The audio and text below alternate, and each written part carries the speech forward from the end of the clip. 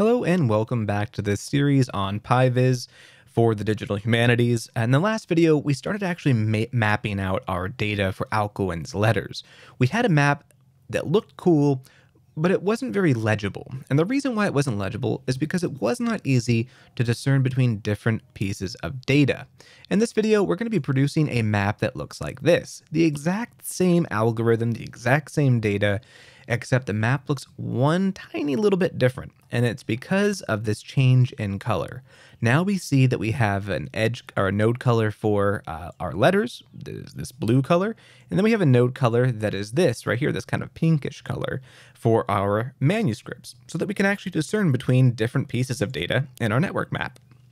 So what we're going to do in this video is work with this and actually create this map here.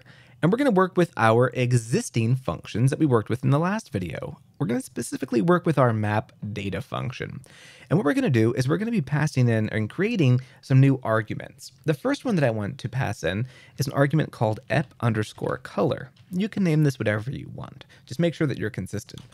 Another argument that I'm going to pass in is ms underscore color. This is going to be the color for our uh, uh, letter nodes and the color for our manuscript nodes.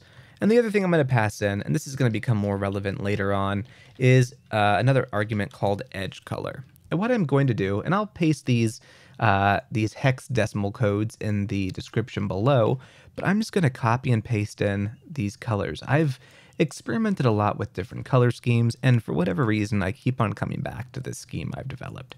Um, it's quite nice. I think the colors blend well and they work well and they contrast well.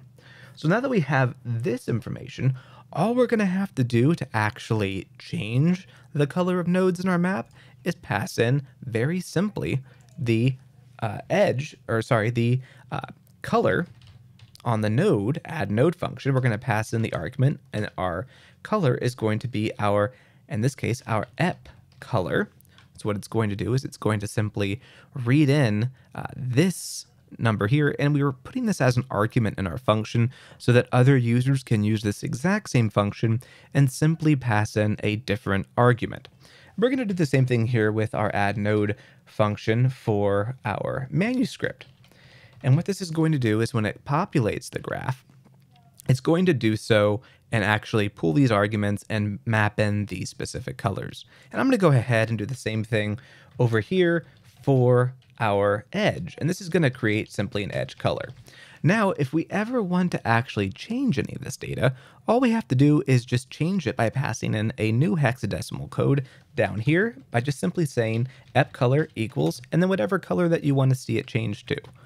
But for right now, I've got it set up in here as a default. So now when we map out our data, bring it down here, it goes on my uh, fifth monitor screen.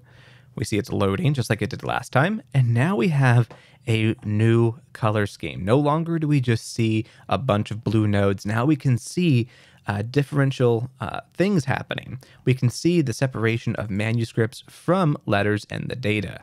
But one of the things that's still problematic about this graph is it's still not very legible. By that I mean, we can do more to uh, separate this data.